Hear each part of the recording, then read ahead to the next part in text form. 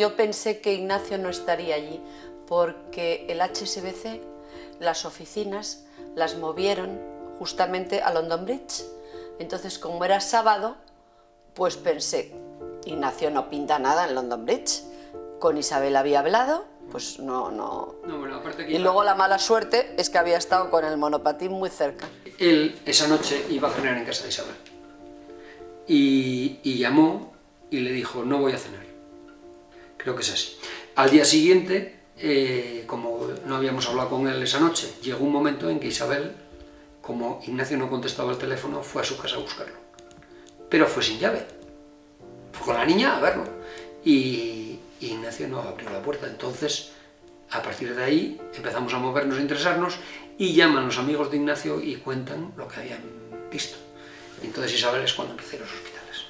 Ignacio lo que hizo no fue sorprendente. O sea, eh, su sentido de, de- lo que debe ser y lo que no debe ser estaba por encima de, de su, de su instinto de conservación. Su instinto de conservación no mandaba en Ignacio. Estábamos en el tanatorio esa tarde que llegamos. Eh, y se presentó una persona mayor y que, se- emocionaba al hablar, con lo cual yo no entendía nada de lo que decía. Y se quitó una condecoración, una medalla, que se la quería imponer a Ignacio. Eh, como estaba cerrado, el féretro estaba cerrado, la, la pinchó en la bandera. Y él le explicaba que Ignacio la merecía mejor, más que él. Este hombre había tenido un hijo con problemas y lo, le habían dicho los psicólogos que buscaran una persona joven de su entorno que fuera una referencia para él y que lo ayudara. Y por lo visto se había pasado muchas tardes en su casa o llevando al chico por ahí a parques de patín o a sitios con otros chicos estuvo y ese chico ahora está bien este es un chico que está estudiando es un chico que superó sus problemas y que, bueno pues eso es una cosa que no sabíamos pero que estaba ahí cuando tenía 22 años o por ahí está estudiando en París y estaba pasándolo mal porque le costó trabajo y entonces se fue a un convento a ver a una tía de Ana y pasó allí pues un fin de semana.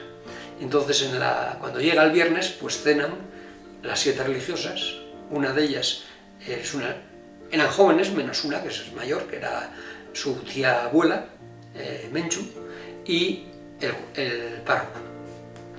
Entonces el párroco se pone a cenar y le, pone, le sirve vino y dice Ignacio, "No, yo no bebo vino. Y le dice el párroco, ¿cómo que no bebes vino? Y dice, pues que no bebo vino. Y dice, ¿pero por qué no bebes vino? Y dice, porque mi padre me ha dicho que no puedo beber vino. Dice,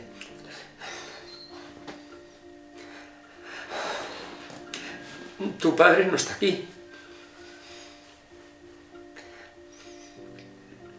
Ignacio le dice, no importa que no está aquí. Mi padre hoy por hoy paga mis estudios. Luego tiene autoridad sobre mí y si mi padre dice que yo no bebo vino, yo no bebo vino. Yo no sé lo que pensaría Ignacio, pero yo sé que Ignacio sabía que él no era Dios y el perdón es de Dios, no es de las personas. ¿Cómo va a perdonar? No hay nada que perdonar. Es que no existen, es que